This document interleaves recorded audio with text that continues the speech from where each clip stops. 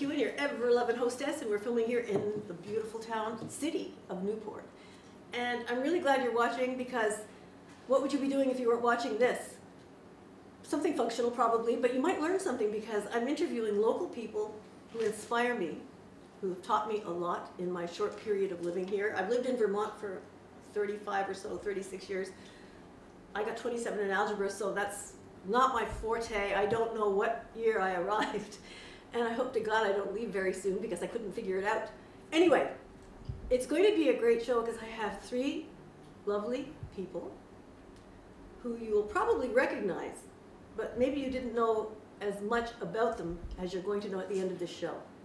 And um, it's the positive side of life. You hear a lot of negative on the news and you hear a lot of negative in the streets, but this is Newport and the Northeast Kingdom. So I think there's more positive than negative here, and we're going to find it and hear about it. So I'll start the music here. I'm terrible at this. Thank God Brian McRae is here on the camera because I don't know what I'm doing with that.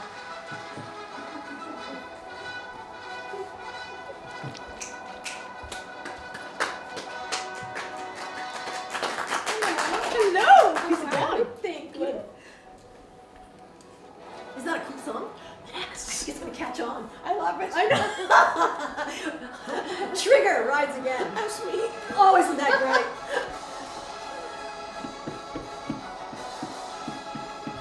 Taken from Newport's greatest hits. Anyway, Carol Dowd has moved here from, Newton, Massachusetts. yes, the Newton Hills of Massachusetts, if you've ever run Boston Marathon. know, yeah, that's right, that's Nope. right. But other than that, it's a very nice place. It's lovely, it really is. It's an old city. It's eight miles west of Boston, Yeah. and it's just a lovely place to be. But it is a city. No, for sure. Mhm. Everything's a city. It's not even a bedroom community No. now. It's a, Oh, it's a quick nap. And, It- and you're back on the tee and back. Yeah. What brought you here? Well, you know, Henry and I, my late husband, Henry Dowd, we used to go up to Waitsfield, Vermont, skiing all the time. Mm-hmm. and he loved it up here. And I didn't ski, but he did, and that's that's fine by me. So Henry became ill Mm-hmm. and couldn't ski anymore. So he said, "Well, maybe we should give up the timeshare." And I said, "No, no, no. I love it up there." I said, "You know, when I get across Route 89 into Vermont, I feel myself relaxing." I said, "Let's just go and just re- just explore." Mm-hmm. and see the beauty up there. Yep. So that's what we did for 30 plus years. And in 2018, I was able to retire. And the only stipulation that Henry had was he wanted to go by water. And I said, okay. And you're so close to the Atlantic. We- uh, Yeah, You might as well come to Lake Memphremagog. Well, that's the thing, you know. We, and I said, well, I won't go to the Cape. Cape Cod is out of the question. And Maine is very touristy also. I said, what about Vermont? There's lakes. We're not really involved with lakes down here. So he said, okay, you find us someplace to look and, and we'll go. Mhm. So that's what we did. And I, I was on Zillow day in, day out, day in, day Most out. Most people are on Xanax day in, day out, day in, day out. And I found Newport, and I was like, I remember that town. And you know what I remembered about it was the lake, number one, Yeah. but that gorgeous St. Mary's Church coming into town. Are you Catholic? Yes, That's a beautiful church. it's a gorgeous church, yes. Three Hail Marys in your back I know, street. I I know, Yeah. bless you, my child. I love that church too. Oh, it's beautiful. and so you can see it from every part. And Yeah. whenever you're on the lake, you just look up and it's look there. out. Yeah, yeah, I know. And you can't get lost if you can see the steeple, That's really symbolic. You know, Yeah. that, that there's a story there. I'm sure. You know, for I'm the sure. lost souls of the world. Mm-hmm. I Yeah. might be one of those lost souls. I have no sense of direction. That's okay, neither do I. JetBlue gave me a compass because I couldn't find the gate. You know, Oh, it's like come on. seriously. But I made it into a wall decoration, and now it's a little compass that Oh, opens up like a sweet. hobbit door on my wall. It's like I know where my I know my room where my room is. Yeah, me too. But no sense of direction. It's true. Totally. We've got a great au- studio audience here tonight too, I and uh, know. if the camera turns, it'll hit the couch, so you don't have to do that. They don't want to be on camera, but they're all there, and it's really great. More Vermont people. Hello, Yes, everybody. I am. Thank you. How are we doing so far? So good. Oh, thank you. Checks in the mail. Oh, Anyway, yeah, no, yeah. Henry passed away. I wanted to talk Yeah. about your attitude because Sure. when I first met you, Mhm. I re- I don't remember how we met, but we bumped into each other in Vista. Yes. and you said you had a sore neck, and I said, well, come on over to my house. Right. And that's when you told me that Henry had passed away, and your attitude was so positive. What do you do to keep positive, and what made you stay? Well, you know, I got to thinking, a lot of people said to me, Carol, are you going to come home? And I thought, I don't know. And I kept thinking about it and thinking about it. And then I realized, you know what? Home isn't a place, home is the people. And the people that I've met up here have made this a home. True. People have adopted me into their family, and I'm just overwhelmed by the kindness. Have they put you in the will? I'm waiting, I'm waiting. I asked Janelle, but she hasn't done it yet. You have time. We have time. Um, I think it's amazing too because I've lived in Vermont for, I don't know, my daughter's forty-two, so I've lived here a long time. She Oh, was wow. born in Chicago, Mhm. and when she was eight, we moved here. So you do the math because of course I can't. But I've been here a long, long time. Yeah. And I was in Franklin County for all of those years. And I started off, I came here with a head injury. Best thing that ever happened to me. Seriously, I'm all better. Okay, there you go, see? I- Yeah, right? Yeah, yeah. But I got a job on a dairy farm with my two little ones. Oh. And it was seventy hours a week for hundred and fifty a week. And I didn't know what I was doing, but I didn't know what I was doing anyway. Sure. And the farmer said, you take drugs? I said, no. He said, do you drink? And I said, no. I thought, God, it's gonna be some kind of job if I have to do that to keep this job. He said, good, then I can teach you how to be a farmer. There you go. And he did, and that was getting in the back door of Vermont. So I got in here Mhm. as a herdsman on a dairy farm. Wow. And everybody in that place, they get, when I started writing again, after I started getting better, I started a column in the paper called The Hapless Herdsman. Mm-hmm. And they never laughed at me, they knew, Yeah. but they were kind. Yes. And they were Yeah. patient with me. And uh, it was the best part about moving here was coming in the back door as a Mhm. humble person who had to work really, really hard. Absolutely. And they adopted me, Yeah. and it's, And it was it's, wonderful. it's a wonderful feeling, isn't it? It was yeah, great. it Because you have a head injury anywhere else in the world and they, they talk, maybe talk to you. Oh, yeah. Well, you know, back home there was an Irish pub. Not that I, believe me, not that I ever went. Oh yeah, this is not water folks, this is not, this is Guinness. Oh, well. Albino Guinness. Yeah, that's the one. and it was called the Harp and the Bard. And you would walk in, and they had this big, huge door, and on the door it said, "There are no strangers, only friends you haven't met yet." Oh, I believe that. And that's how I feel up here. You know, there are no strangers. I don't know a stranger. I have a friend that I met that laughs at me because she thinks I adopt all these people in the supermarket. Well, we do. And we do. And I mean, they, you know, they follow you, and and sometimes they'll say, "Oh, would, can I call you?" And I'll say, "Oh, sure," you know. And the next thing I know, oh, I didn't get their name, so I put down "lady in Kleenex aisle," you know, so that when she does call, I know who it is. But it's just been, it's been a great trip, and and you know, I think you asked me about attitude, and I think attitude is is something you have to do for yourself. Okay, tell me how. Well, you know, every day you have to get up and say, I have two choices. You know, I can make it a good day, or I can make it a not so good day. And I don't choose to do anything but make it a good day. And if I'm having a bad day, then I have to talk myself out of it and say, you know what, this isn't what you're all about. You know, this isn't what you tell other people. So you can't be this way yourself. Exactly. So- and that's that's just how I do it. And I try to keep busy. You know. It's hard to be anything but isolated here unless you do it yourself. Yeah. Everybody has to be self-motivated. I'm a hermit. Yeah. You, you wouldn't know it because we're talking now, but Mhm. I can go days without Oh, yeah. walking out. I mean, I train here at the house, so I don't have to go to the gym. Exactly, And- exactly. After four days this week, I thought, my gosh, I haven't been out. And so my friends Karina and Brian, we go for walk. And Yeah, thanks for getting me out. Because even though I train in the house, it's Yeah. completely non-social. Absolutely, yeah. And that can be a absolutely. habit. Yeah. So you kind of inspire me on that because you work in the hospital, Mhm. Volunteer. volunteer at the Yeah. hospital. I You're in work- charge there now. Well, I'm the president of the hospital auxiliary. What do you do there? Well, we are in charge of uh, fundraising, sort of. Oh, wait. Um, No, I didn't bring anything with me. no, that's okay. I have two massage gift certificates. Oh, that's right. Who got those? yes, I do. You got those? No, no, I have, I'm saving those to raffle off next Oh, month. Okay. Yes, That's when good. it gets cold outside. Oh, sure. But um, you know, there are a lot of the departments in the hospital that need equipment that isn't in their budget. And so what the auxiliary does is we try to raise money so that we can ask them, well, what's your wish list? What do you need? And we've gotten a couple of really good items. I like a You kidney. know, Well, not so much a kidney, but okay, no I'm kidding. close, very close. Dialysis machine. No, um, we just paid that off. High five. We did. Really? just paid that Why don't you yeah. run the country? We just paid Get it rid of off. our triple I million right? debt. It's amazing. So yeah, so we are. We had a harvest fair. We I have to draw a raffle tomorrow. We have a raffle going on, so we have to draw the winners of the raffle tomorrow. But we have lots of lots of things and lots of fun things for people to do if they want to get involved. Very nice. If they So how would they get in, what, how do they contact the hospital to get involved with the auxiliary? They should just call the hospital and ask to speak with Marilyn Barry. Marilyn Berry. If you Mhm. haven't heard that before, write it down. Write it Do you all have pens and pencils?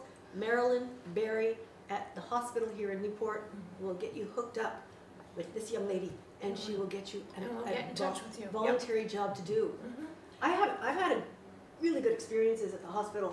I got, bit- I was bitten by a dog. Can I talk about that, Janelle? Sure. Anyway, twenty-four hour, well, I was with my neighbor, Uh-huh. a little neighbor down the street, they're great dogs, they're fabulous people, and she said, my hips are sore, but I'd like to go on the new path. I said, well, I'll take you on the new path on the Scott farm, uh, what are they called, Bluffside Farm Oh yeah. path. I said, well, we'll go together. She said, okay, let's take some dogs. They have seven dogs. They, they're, they keep their children's dogs. You know how it is. They did. Um, anyway, um, she says, "We'll take the dogs." I went, you know, oh no. So she she takes this gorgeous pit bull, and she gives me here's an 11 year old rescue. It didn't even come out from behind the toilet before for a week when we got him because he was so afraid of everybody. I've had him for 11 years. He's so kind. He's a little nervous though. So we start walking. We get to the road, and a big truck goes by, and the dog suddenly suddenly the dog is on my leg, and he's pulled the quadricep off the bone. That's what it oh. felt like. I'm in pain, so I go down and I'm holding on to her arm. going, And she says, "He's autistic," and I, and I said, oh, "You know." I was married to an autistic man, he never bit me in the leg. But anyway, so 24 hours later, and here's one of our studio audience who saved my life. This is Newport, I've got to tell you. Her name's Janelle LeBlanc. And uh, I said a prayer. I was at there, and suddenly my body seized up. I couldn't move in my front yard 24 hours later. I was like, so somebody goes by, two young ladies go by. One of them was Janelle, and she said, we like your door. I said, come on, I have a magic path. You walk along the path and make a wish. But I had just said to myself, oh, please, somebody has to help me. Yeah. So uh, she said, what's wrong with you? And I said, I was bitten by a dog yesterday and I can't move. And she said, well, I'm a wound specialist. Would you like me to take a look at it? And I was in the hospital an hour later. And I was completely, I couldn't move and I was being infused with all, I had enough penicillin in me to date the entire British fleet if it docked here. Oh, But I got better. They were wonderful. see? The nurses were so kind. The nurses are kind. And Janelle They saved my life. are. And Janelle's, Janelle is a lifesaver. Mhm. She's been there for me more times than I care to tell you. Yeah, you're in good health though. Yes, oh yeah, yeah, I am. I'm in very good health. And you know why? Right. Your attitude. Yeah, I think so. I think so. I really do. You know, I don't have time to be sick. You know, I don't want to be sick. I have too much to do, too many people to meet, too many things to do. You know, aren't we lucky to have this young lady here? I am so lucky to have you as a friend. Oh, same here. I really am. Because uh, there have been times when I have been really low. Yeah. And I thought, well, Carol, what would Carol do? You know, you wear those little braces. What would this one do? What would that one do? What would Bob Villa do if your house fell in? That's right. Yeah, I know. I know. Yeah. Call sticks and stuff. Call, you know, pick and shovel. Well, Right. I say, what would Carol do in the situation? And uh, I kick myself in the pants. Which is very difficult because I'm such a spaz. I know that feeling. I know. I know that feeling. Yeah. If you had, if you had ten things in your life that have brought you down, how have you gotten up mostly though? Well, there have been a lot of things that brought me down. You know, um, I lost my baby sister back in 2008, and she was precious. She was a wonderful nurse, and she was kind of, I looked out for her. She was uh, nine years younger than I was. was. And I just looked out for her, and she was so much fun to be around. She had polio, but she died of pancreatic cancer. Oh, crap. And that really brought me down. But you know what kept me going was No. the fact that she's not in pain anymore. And she doesn't have that big brace anymore. She's up in with the angels and she's walking around. She may even be dancing by now. But she couldn't walk without the brace and now she doesn't have it. What So kind of nurse was she? She was a OR nurse and then she was critical care. And uh, she was excellent. She was such a good little nurse. And she wouldn't retire. She wanted to keep working as long as she could Good. and she got herself sick. And, you know, she kept thinking, oh, it's gallbladder, it's gallbladder. But, you know, we took her into Dana Farber and they found that it wasn't gallbladder. And, I uh, love Dana Farber. oh, yeah, yeah. Well, I worked at the Brigham and Women's Hospital at I the love time. them too. And I was there for um, be- 30 years between the Brigham and Women's and Newton Wellesley. Were you at Brigham uh, and Women's when Dallas had his face transplant? Yes. I met him and I wrote a story about him and I met his feet. Great story. This man, God, this man was, his name is Dallas and he's from Dallas, which Yeah. is so weird. Yeah. I mean, I- we don't see any kids named Newport, do we? No, we It's didn't. like, no. "Oh, where, where, where are you from? I don't know, but I'm going there. 'cause Maybe that's my name." Boston. I don't Yeah, know. yeah, it's true. I do know Boston. anyway, so Dallas is sitting, is, is painting a church, and his ladder is metal, Yeah. and it hit the wire, mm. and he was blown off the ladder. He fell like 25 Oh, feet, yeah. Blown off the ladder. Said, I didn't feel the landing because he'd lost most of his skin. Mhm. It went in through, I guess, his arm, and it came out through his leg, and it- Yes. it blew off his face. And so he was the first face transplant in this country. Yes. And so I'm in the Boston airport, and I'm waiting for my flight to wherever I was going. I never know. I'm not the navigator. I just get on. I'm taking it, but he's flying. Thank God. And uh, so I see this man with a beret, a French beret on his, and he's leaning into a woman who's in a wheelchair. And they're just head to head, and they're really chuckling and laughing, and I could just see their bodies moving and laughing together. They're first boarded, and he sits in the first seat. It's an E190, a 100 passenger plane, two and two. So they're sitting together, and they're they've just been given a wedding shower.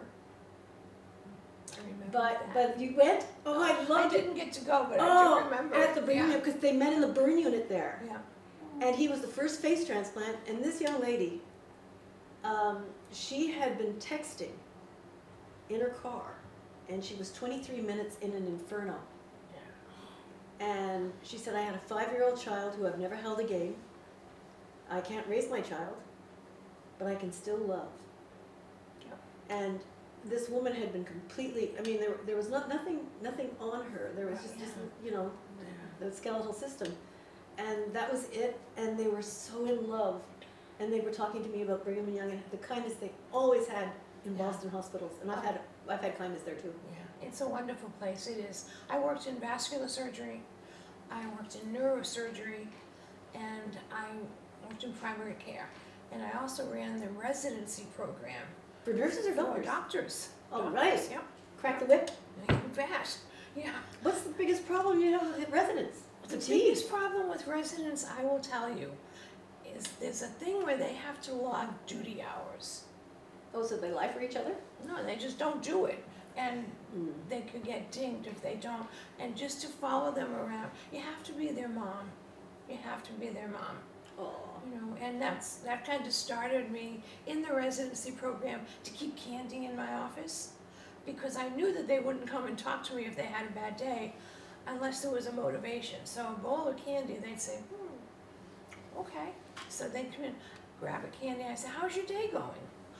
Let me tell you. And then they'd sit down and then, you know, you can iron out their problems. So that's, you get to learn a lot about people Oh, over I bet they keep in touch. They do, all over the country. When my Henry passed away, I was flabbergasted.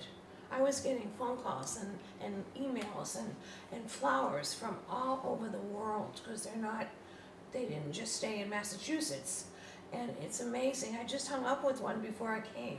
Well, the next time they come to town, bring them over. We'll have a good Oh, interview. We'll, Absolutely. we'll, we'll have a roast. We'll have a Yes. Carol Dowd roast. Well, you know, one of them actually emailed me a couple of weeks ago and he said, You have sold me on Vermont. He moved his family to South Burlington. And Oh. he's working at UVM now. Okay, I said, well, you can come a little further up. We need a radiologist. But, sure. you know, so, but it, it was just so heartwarming and, and so wonderful to be there, you know, through all the crises and, and so forth. We had a doctor get killed at the Brigham at one time, Oh, the shot? and yeah, Yeah, I remember that. and, um, you know, so all, and then it just showed how a huge hospital like that can, can come together, you know. And then, Speaking of coming together, will you come back and be on my show again? if you have me, And if they have the show, if they have a show. they won't cancel it because of you. They may just cancel it because of me. No way. Well, this has been great, Heather. Thank you. Thank you so much. You're the best. Thank you, Carol. You.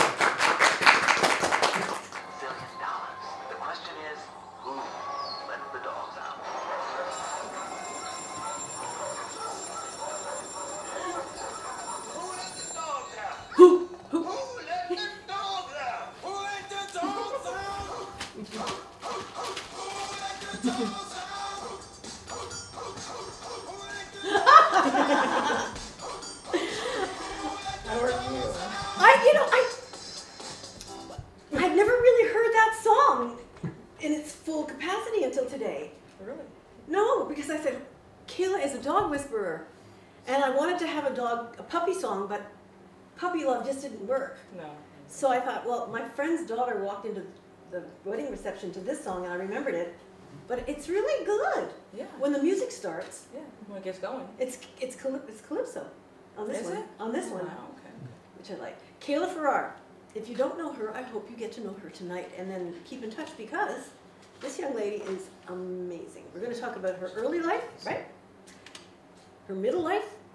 You're not even in middle life yet. Yes, I am. What No, no, no, about? no, no. I'm 70 and I'm in middle life, so you're not okay. even near okay. me. You're right. You're right. So, and then we'll talk about how I met you and, and Jeffrey, and then you got married here at Dunroven, which Yes, I thought did. was fun.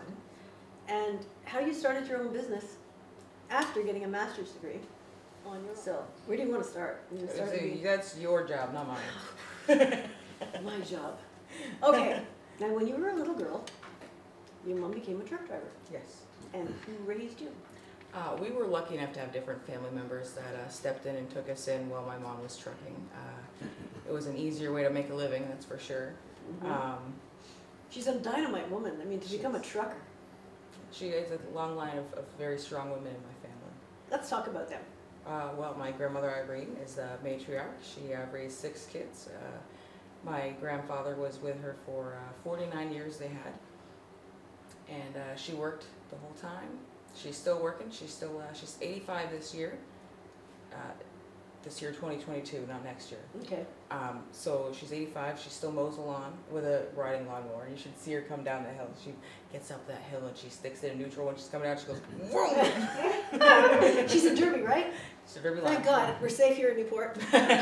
If you see someone passing you on the way to the quick stop, that's your grandma. That's my Grandma grandma. Irene. That's her. Yeah, well, she was quite amazing and uh, kept you in line, Oh yeah. but yeah. also gave you enough time to run. Yes. So how did you keep busy when you were young? Uh, well, I liked to rollerblade a lot, and uh, that's that's pretty much it. I was out rollerblading all over Derby Line. There are no streets there, really. No, there's not. You know. So, so what did you do? You have winter tires on them or something? well, the um, rubber tires, see, they work a lot better than the, the plastic ones. They're a little less, uh, you Uh-huh. know, on the pavement, and uh, they are a little slicker though. So if you hit the, you know, the yellow or right line on the street, if you hit just right, you could fall. So. I'll keep that in mind for the next time I don't do that. Ever. Ever. I, I'm the only Canadian that can't skate. I mean, on real skates. So don't give me those. No, no, they're a little easier. You know, and you can't hurt yourself in the face or anything. They're not Watch sharp. me. Oh, I didn't hurt myself with my skates. I ran into a Volvo. I could do that with my car any day. yeah, any day. Any day, but um, there are more inspiring things than your youth, what, full of fun and physical activity. Yes. Um, when did you decide to go back and do all the education? Well, I was 19 when I finally went to school. It was, uh, was I 19? Yeah, maybe. I was 19 once. Yeah, me too. No, I, I- I think actually, I think I might have been 21. I think I was 21. At a time. You know, it was just all meshes together in there, and it's like a big old melding pot. Um, I was 21, working at the call center in Newport back when it was CRMI. Now it's it was RDI. Who knows what it is now? Um, and I hope uh, it's something we can still spell. yeah. RDI, I've heard of that. I think they closed down during COVID, right? And they gave everybody work at home or something like that? Yep, yep. I'm not sure what they're doing now. I, I don't pay attention. I would hate that job. It pay the bills. I would like to pay bills. Yes. There you go. Unfortunately, we continue. to. Yes. Sorry. Um, no, no, no, you're fine. And uh, I went back to visit the, the school nurse, as I did a few times there. She was wonderful. She was uh, my rock in, in high school. High What was school her was name? hard. Uh, Betty Briers. Uh, she's no longer in uh, this area. She has uh, moved to California for the time being, as, as far as I know.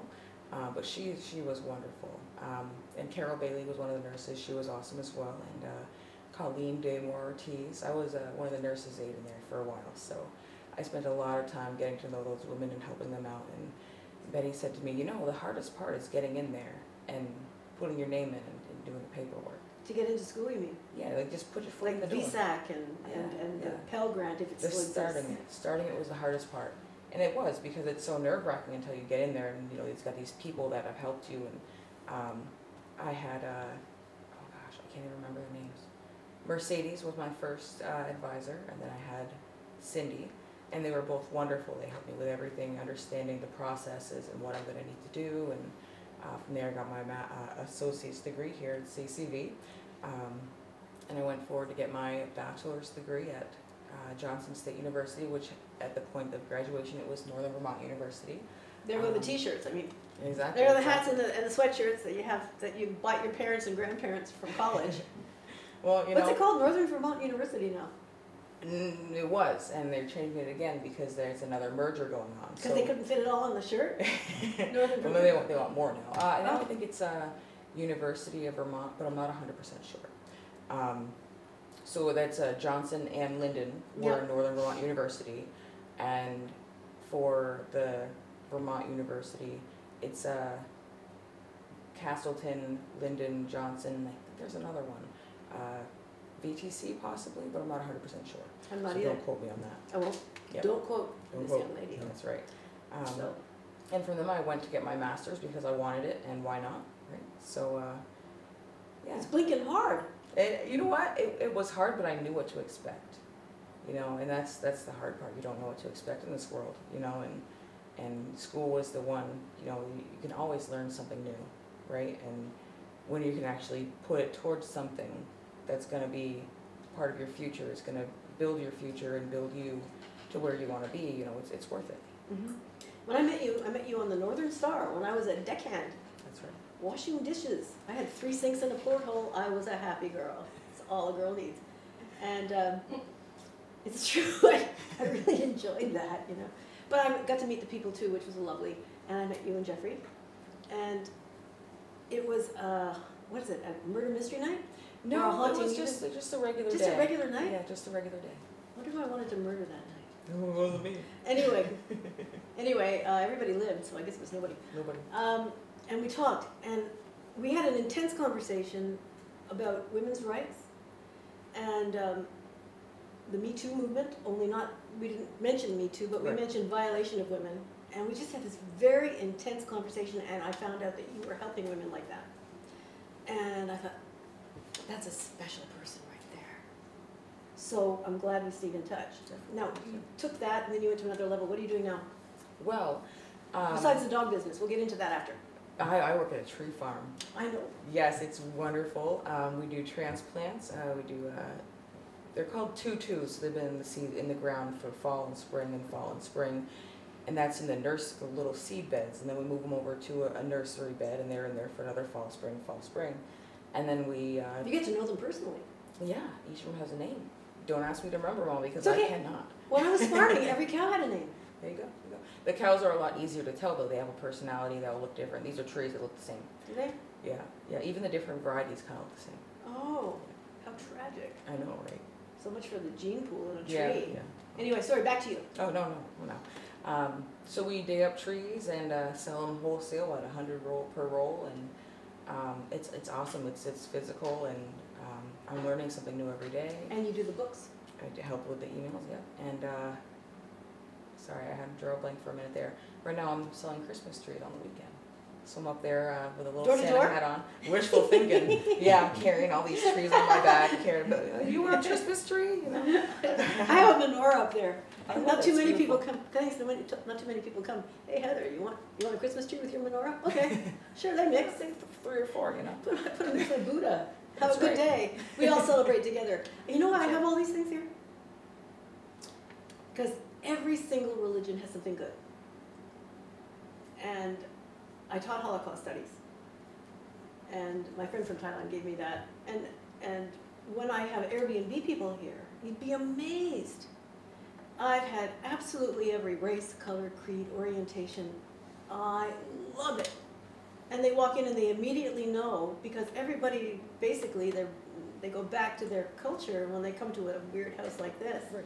They like to see something that they can relate to Exactly. Because they don't relate to an old blonde woman. I don't know. Who who that. knows what color it's going to be next week? um, but whatever. Um, it's so I, I love that, and I love that it brings up conversation. Right. So yeah, I'll take a Christmas tree any old day. I, you know, I used to keep them up until Mother's Day. Well, why not? You know. Well, because I had such a cold house, there you go. Yeah. and I couldn't heat that house. I lived in it for over 30 years, and if I couldn't see my breath when I woke up in the morning, I thought I died overnight. And my tree would live, and it would bud, and then it would just die. And I'd wake up one morning, and all the all the needles would be Yeah. down. I love Christmas. It is a wonderful time of year. How many are you selling up there? Well, we don't have as many as other years. We, there's a Christmas tree shortage. Um, a lot of people in the last years of COVID who were out of the area uh, for Christmas and such didn't have the availability, so they wanted to get a tree. So I kind of cut into the next couple years because in order to sell a tr- uh, trees each year, you have to have, you know, every year you plant these trees, and it takes ten years to move the gr- to sell a tree as a Christmas tree. So you've got to have a tree that's nine-year-old, eight-year-old, seven-year-old, all the way through in order to keep backing yourself up for that stock. Um, so we, we're a little bit short on big trees. We've still got some small trees. I'm sure we've got a bunch of big trees left up there. We've only been selling for one weekend. Um, this will be our second weekend. Where is it? Uh, A Second Sun Tree Farm. It's uh, 1013 LeBlanc Road uh, in Barton, Vermont. Any relation to you, Janelle? No, I'm from Louisiana. Well, the last name. I know, that's it just so happened. Do you My sell last trees? name's Green here, but Yeah, yeah, well, it's, it's a good French name. it is a good French. Louisiana, it's a very good French name. But, um, yeah, that's one thing, but now let's talk about what I really want to talk to you about, and that would be Dog the dog business. Yes. You are a dog whisperer. I try to be. Some of them don't listen very well, and some of them don't speak my language. Okay, I wrote a story about you when you started that. It's called Paws, Half paws will travel. Half Paws Will Travel. Like, if you think of Paladin in my day, Have Gun Will Travel. Yeah, This is Have Paws Will Travel. I love it. I do too. Thank you. Love And what do you do? How do you do it? Uh, well, uh, I've got my little old Jeep out there, and someday I'm gonna have a van, someday. Um, and I go to people's houses whenever they need me. I do doggy visits, I do grooming, I do bathing, um, ears, nails. My guy's got a snotty nose, so I'm wiping a lot of that right now. Um, I wasn't going to say anything about your sleeve, but you know, I'm kidding. Made me look. Just kidding, no. Um, and the reason I say dog whisperers because I love animals, but I don't have any and I won't have any because um, Airbnb and my clinic's in here and everything like that. And I hate vacuuming. Let's face it, I haven't seen my vacuum in two years. Lucky. I open the door and go, it's good. No dogs, no cats. But Dozer, your rescue dog, cancer story. Yeah. Go ahead. Yes. Um, so in uh, July of 21, we uh, we were out at the at Willoughby, beautiful spot, beautiful. Um, throwing rocks for the dogs, you know, for the dog, and he's out there swimming and he's climbing all over these rocks and he's rubbing his belly on them, whatever. He's fine though. We run up the mountain, he runs down the mountain. We get in the car, go home. He gets out and he's walking really slow, and he's like, kind of looks like he's in pain. Um, he didn't want to drink any water. He didn't want to pee. He wouldn't pee for a good three hours. And I'm like, all right, this is stupid. We're going to the vet. So at 8 o'clock at night, I pack him in the car and go down to uh, Burlington Emergency Veterinary Hospital. Uh, services, not hospital. Um, and they do a scan and find out he's got some liquid inside his uh, abdomen there. Um, they took a sample and found that it was blood. So they um, did a an X-ray and, and found that he had a mass on his spleen. um, which had ruptured. Oi, Yes, so usually if, if it's a mass that's not cancerous, it won't rupture um, because it's more solid, it's more of a mass instead of, you know, this unknown, you know, blob of, of who knows what that's unstable. Um, so I was very, very lucky in the fact that his, his um, rupture had started to clot. Um, so they were able to take his spleen out and the tumor along with it, and uh, he's been it was a good three days ago, I got the notification on Facebook that one year ago we had ended the, the major chemo, which is he had five rounds of uh, every three weeks of heavy duty chemotherapy. Um, so we've been a year off of that, which means he's been about a year on the maintenance chemo. Um, the general uh, lifespan after cancer is seven to ten months. We've already beat that. Oh, He's- yeah. He's still he's so healthy. he is, yes, and he's still doing amazing. Um, he was on two medications, the, the, um, maintenance chemotherapy pill and a, uh, a medication to help his, his urinary functions main, be maintained because chemotherapy can be hard on, on all those processes. And, uh, we found out that his liver was failing.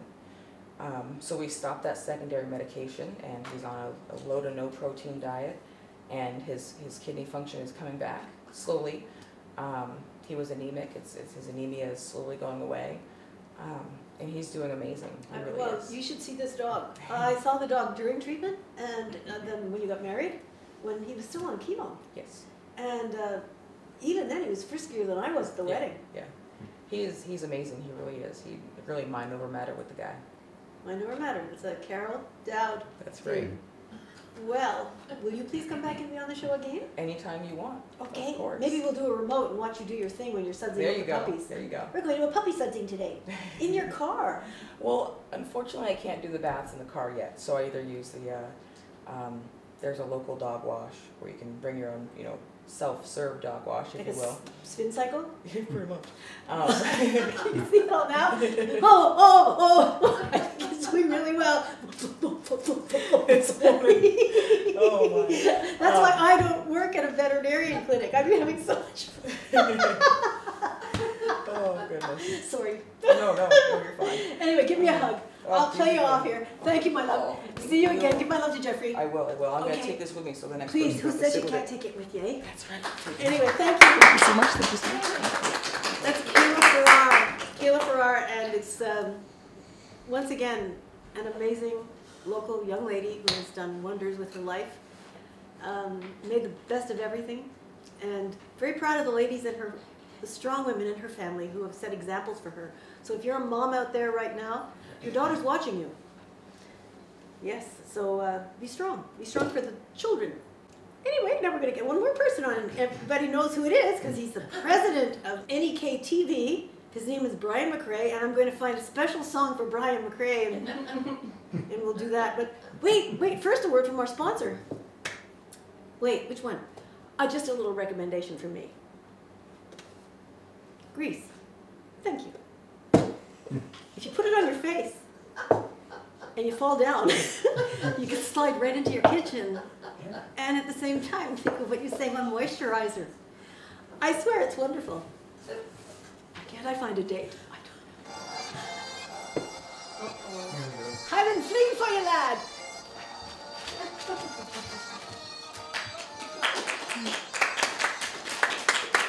That's great, Heather.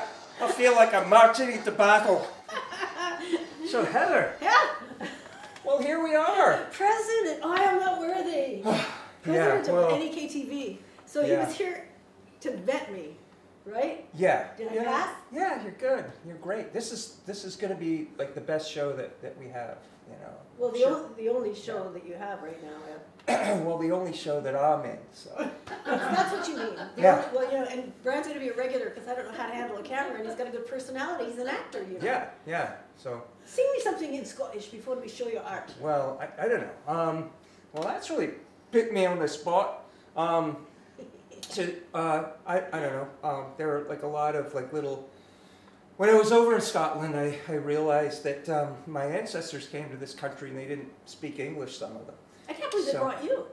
Well, yeah, you know. So so anyhow, um, when when I was when I was in Scotland, I was um, one of the things I did is I traveled up in the Highlands, and I was fascinated by the the language, and and I went um, in the fall of 1984 when I was I I was studying at Edinburgh Uni- University for a year. I took a year from um, University of Vermont, which was really weird. I um, I was staying in a dorm, and uh, I was just walking through the Living and Learning Center there. That's like this dorm that has um, uh, different areas for like you know pottery studios, and there was a graphic design studio, which is why I was there. And um, the the lady that ran the overseas programs was somebody that I knew from high school here. So I, you know, I, one of those days I stopped in and, and I said, "You have anything in Scotland?" Because I always wanted to go there. Um, after I, We I have a castle with a little bit of land, sir. Would you be interested in buying that? yeah, I, you know, I, I have a castle. I found out. So I, um, You yeah, do? I well, there's a there's a McRae Yeah, castle. hiding yes, it under your kilt? yes, indeed. Well, there's not a castle there. I tell you, it's not what it used to be. So um, anyway, I, I went to um, I, I went to Scotland for a year. And, uh, and, and studied abroad my junior year at Edinburgh University, which was probably the best year of my life. I, you know, Has it been downhill ever since? no, I, I mean, but in, just in terms of every day being being something different and something new, and, and I I'd lived in Europe when I when I left North Country. I, I was stationed over in Germany. You're going to be singing me a Scottish ditty. That's right. I was We going to sing have a ditty. one-hour oh, show, all right, there we go. All right. Um, so like here's a little quick um, puirt à beul. It's uh, mouth music. Puirt à beul. Puirt à beul, Oh. uh, mouth music.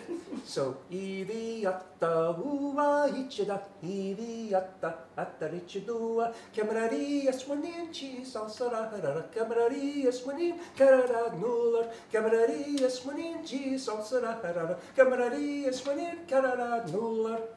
So, um, basically, um, That was great. that was that, wasn't it? I sang to my, my little uh, girl when she was little, because it, it's a, Fiona? it's, yeah, we Please do Fiona, um, because um, it's it's about a father worrying about like her, her daughter getting you know her fair share of the dance floor.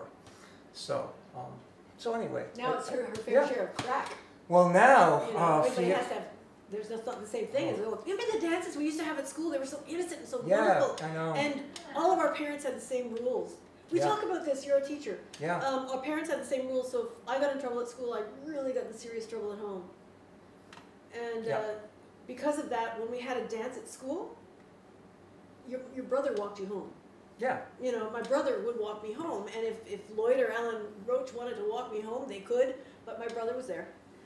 And that was the way. And it was an innocent, sweet time. And, and yeah, yeah. so Well, I would have walked home with my brother because he would have been the one that had the drugs or something. So, stay away from him. But I walked home with my Yeah. brother because his friends were cuter. Oh, oh. we had just an innocent time. I forgot what got us Yeah. onto that subject. Yeah. Oh yes, because you were singing to your little girl about Yeah, I time was- on the I dance was- floor. I was, yeah, yeah. So anyway, but the yeah. dance floors of our, my- our youth were just fabulous. Yeah. And there's we had a cottage on Lake Magog in Cedarville uh, when I was growing up. All my friends are still there. So they all had the same thing, multiple generation. But my mom died, so um, when Dad remarried, it was not the same place for my poor sweet stepmother. You know, it's not. Mm, no. So off they went to another place. But we used to go dancing at the Rock Cliff, and my father would come with us. And he and my stepmother would get up and dance and do the jitterbug and everything, and everybody else would stop dancing to watch them. But I was so proud of him. Now, if you take your parent to a dance, everybody's going, "What's wrong with you?" Yeah, yeah. Although you know they they still still do have like father daughter dances and things like that. Or you know, You never it's okay. That's okay. Anyway, back to you, Bob. Yeah, yeah. Okay, we're here to talk about. Oh, wait a minute. A word Yeah. from another sponsor here. Please tell us about this. Yeah. Okay. So this is an exciting thing that's happened in my life. A couple years, uh, you know, right right when COVID started, um, I, I was in a phase in my life where I was doing a lot of theater stuff, and um, I was in a show, and then you know, before we knew it, we couldn't meet to do rehearsals, and we were trying to do it on Zoom, and it just wasn't working. It's hard to choreograph. Yeah, yeah, really. I can't see your feet. Yeah, the, the, the, ti- the timing is just like so so off. You, you don't realize how awkward it is. You, you know, it's all this, you know, muscle memory. You, you, you move around and you have to be in a certain spot on really the hard to stage. block it. Ca- Yeah, We're yeah, blocking tonight. yeah, yeah. We're, there, there's, there's like no blocking on Zoom. So, so anyway, um, right around that time, uh, a, a good friend of mine goes, uh, he's a veterinarian, and uh, they're both reaching retirement age. And one of the things that his wife wants to do more of is um, was was riding, and she had this beautiful um, Haflinger horse, and it, it died, and um, so Hard to he- get the saddle on that. yeah. So he decided to, they decided to go and, and, and buy another horse. So somehow, I don't know how, they heard about this horse in the Czech Republic. And this is the horse, Hani. And Hani was, I think they, they paid $12,000 for the horse. And somehow I think like, you know, doing this book was some part of the deal. I don't, I don't know. Uh, but we never really talked about that. But he came back from Czech, the Czech Republic with his horse, and uh, he said, "Brian, I got this great idea. Uh, I've always wanted to write a book, and I want you to illustrate it." And you're a great artist. And and I've I've got a little art under, under my belt. I can't even So- begin to tell you. I can't even show you all this art, So- folks. We'll have so- to have Brian back on again. Yeah, because yeah. Because there's just piles of, of stuff. But I teach art now. My dad was an art teacher. My grandfather was an artist. Um, so it kind of runs in the family. So um, over the last two years, I just finished up earlier this summer, and then I, I made some of the last illustrations just you know just weeks ago. I mean, it was you know, 12 hour days. yeah, yeah. I, I put in, you know, well, twelve hour, twelve hours of drawing. I, I didn't necessarily do it all in one day, but I mean, a lot, yeah, a lot, lot of work. yeah, because hey, I got a real job. You know, I have to teach. So I, I, um, yeah, in and around like teaching, and you know, whenever I had breaks, and you know, summer breaks or Christmas breaks, I was. I, that's what I've been doing. I've been drawing for the last few years, and But the Um, book is an incredible success. it, it, it is. Um, gonna- we'll just talk a little bit. show, yeah, um, that's the one you're you looking know, Yeah, like so. So anyway, Can like this. This is like a cover illustration, and this is the way we have to do the zoom. There's Brian extending himself into Yeah, the camera. yeah. It's the way they used to do it in the old-fashioned days. That's the way Charlie Chaplin used to do it. You'd walk up to the camera? No, no. Well, actually, um, you know, a little bit before that, you know, Georges Méliès would have probably done it that way. Oh, of course, So- Georges Méliès. Georges Méliès. Everybody knows him. Um, yeah. I do um, not. The tr- he, he, he made the first science fiction movie, A Trip to the Moon. And uh, I want to go there. Yeah, yeah. So anyhow, um, yeah, that's that's what I've been doing. And this book has, I don't know, I, I, I think I counted like 50 odd illustrations. It's, it's hard to tell exactly how many because like each one of these individual leaves and, and potato flowers is its own illustration. May I see? Yeah, and what I did was I scanned them in. Don't you wish you had one of these? Yeah, I need it. It's like, So oh, it's a can big contact lens. Oh my god. So hard to get a pair. So like I, Oh, I, I so draw the you know the individual things separately so that I could sort of assemble the potato plants out of their constituent parts. Are they So real potato plants? Yeah, They're different types of potato flour. From potato potatoes? Yeah, well, I like grew up on a vegetable I, I, actually actually the um the purple ones are sweet potatoes, I guess, and Mhm. they're different types of potatoes. Like You know you know the, the regular potatoes are just like that white flour, and I've got a few of those in there.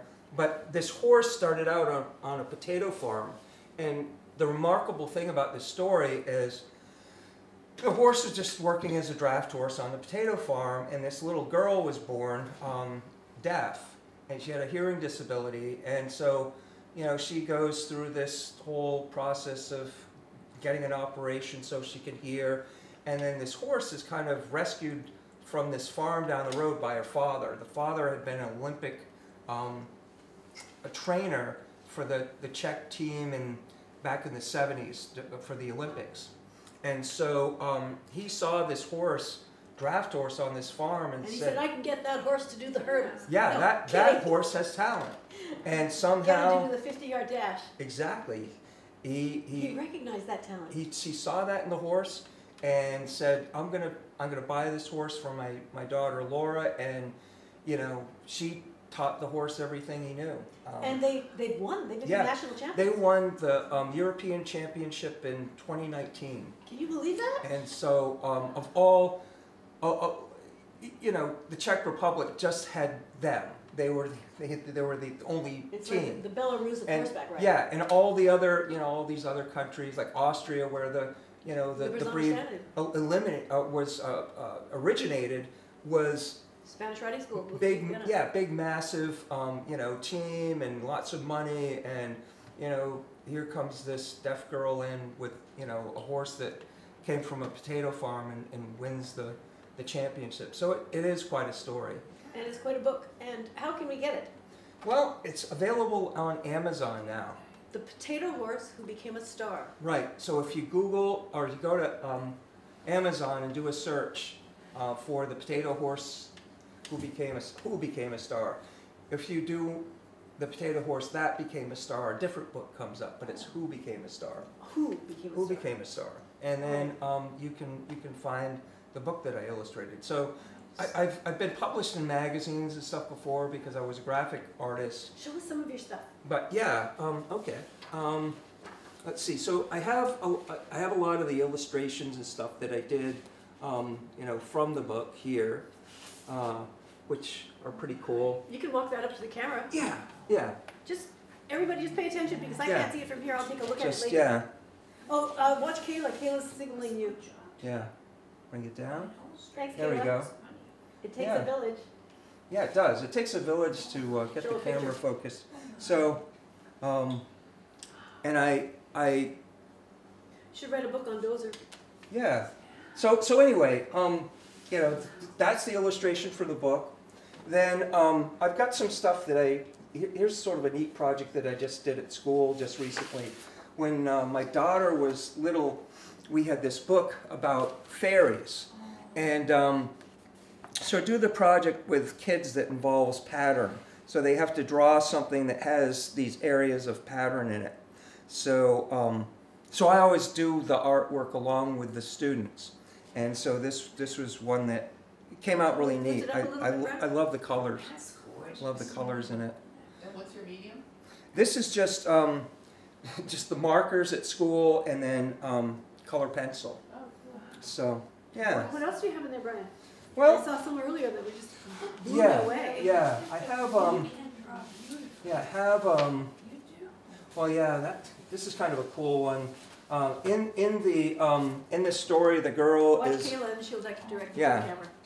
is inspired by um, this legendary horse who um, whose master was a farmer, and apparently at some time there was a king um, in one of the kingdoms that, that was that was part of uh, Moravia who decided that the farmers should go to work in the mines because they discovered gold there, and the farmer said, "Hey, if you know if people aren't growing food, how are people going to eat?" And um, he was condemned to death. So he was given one last wish, and that wish was to ride a horse. So the horse, um, he jumps on the horse's back, and the horse leaps over the, the wall of the, the fortress and s- somehow magically sails over this river that's like a hundred, hundreds of feet below the, the fortress. And um, so she wears, um, it's apparently the heraldic um, crest of, of some city in, in the Czech Republic. So um, she had that crest on her um, saddle pad. So let me Lift it up, show. Yeah, yeah. Watch Kayla and she'll direct you. Right there, right There? Yeah. So anyway, Thank you, Kayla. yeah, there's that. And how about the, what, what's in the, Well, those are, um, these are drawings that were done, um, let's see if I. you used to draw on Church Street. People would go I by. did, I did. Tell us about that. Well, I had a um, I had a vendor cart on Church Street, and I I had a friend who did cartoons out there. He's uh, Mark Hughes, and you know from Springfield, Vermont.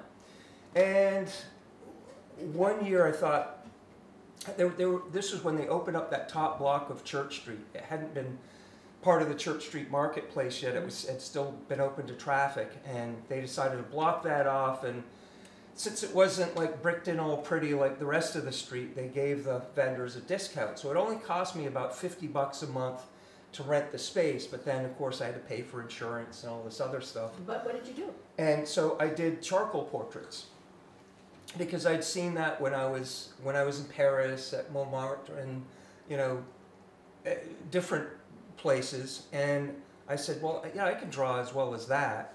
And I was part I was part of a group called Arts Alive that um, every spring they, they put paintings in uh, the windows like that painting that you saw at the house, the big great black big and white one. one of my dad. Um, That I had that one I in there. really, we, we should have to do a show at your house. Yeah, yeah, we could do that. Um, and just kind of take a tour. It's like walking around a gallery. But um, I, I had those paintings. They, they, uh, and, and uh, the paintings of a lot of artists were put up and down Church Street in church in the s- store windows. So um, I used to do demonstrations in schools and stuff with with that group. And you know, one day somebody came up with the idea, why don't you draw everybody's portrait? And it was a really popular thing. So I went to schools, and then people would hire me to do birthday parties and things like that. And then Paint my little baby's face Yeah. at this party. and the kids would line up, and you just spend you know, all that time drawing them. In fact, I, I was thinking about, and I, I didn't bring it in, but I have a, a self portrait that I did in that style. I could put, Just a sec. This Yeah. is what it looks like. yeah, it looks pretty much like this, but a lot younger because it was when I was in my 20s. Oh, And so, um, yeah, that was, it would take me about 20 to 30 minutes to, to do a portrait. And how much um, would you charge for one portrait if I may be so rude? $10?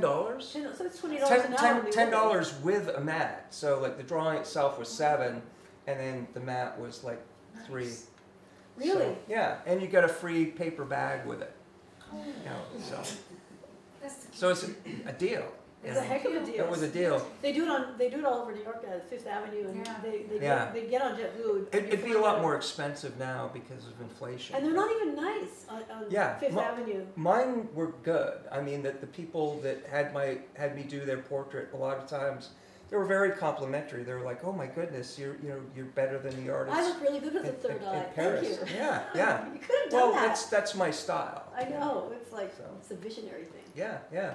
But I'll tell you something, when they get on the plane with um, uh, portraits that they had painted, that, you know, they don't put them in Mhm. overhead, speaking of overhead bin, they bought the horse and checked us in Czechoslovakia. Yeah, And, it did Well, not fit in the overhead bin. How it did would they get not. home? It would not. I don't know. I mean, that must have been an expense in itself. I can Fits right under imagine. the seat in front of you. Yeah, it, it wouldn't fit under the seat in front of them. It wouldn't fit in you know the cargo hold because this is you know it's a pretty pretty big horse. So yeah, I mean. Well, you know, they could add it to one flight and say we have an extra horsepower tonight, you know, so They, they charge they, extra they, for the they ticket. could. I don't know how much faster that would make the, the plane go, though. I'm really not sure. I don't either. Yeah. Have you had fun on this show tonight, Brian? I have had a lot of fun on this show. I have had It's a lot great. of fun on this show. I've Yeah. gotta say, It's been uh, great. I've gotta say, I've- I don't, I don't know if the audience is having as much fun as we are in this house, but Yeah. thank you. Thanks. A round of I- applause. I haven't had a TV for twenty years, so I probably won't see this show, so be kind.